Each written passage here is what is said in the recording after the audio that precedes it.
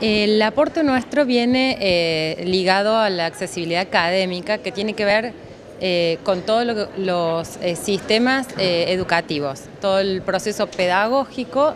que hay que pensar mirado desde los sistemas, porque mm, todo este planteo de la accesibilidad creo que nos está interpelando como ciudadanos en nuestros conceptos sobre discapacidad, sobre personas, sobre sociedad.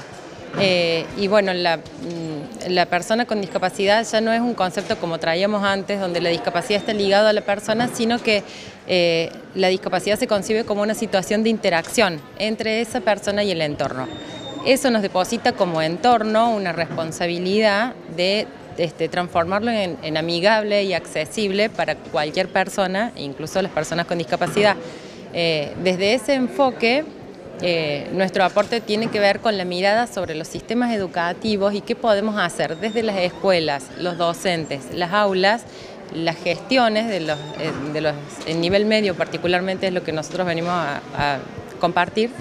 em, bueno, para pensar qué se puede gestionar desde el sistema y desde la escuela para favorecer el proceso pedagógico de los alumnos sin tener que pensar a posteriori una adecuación ligada a determinado alumno, sino que desde el inicio la situación pedagógica está pensada para que le pueda llegar a cualquier estudiante, más allá de sus características. ¿Y cómo se hace entonces para iniciar estos nuevos modelos pedagógicos?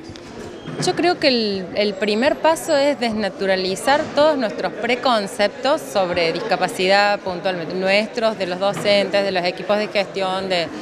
de todos como sociedad. Digo que ese, me parece que ese es el primer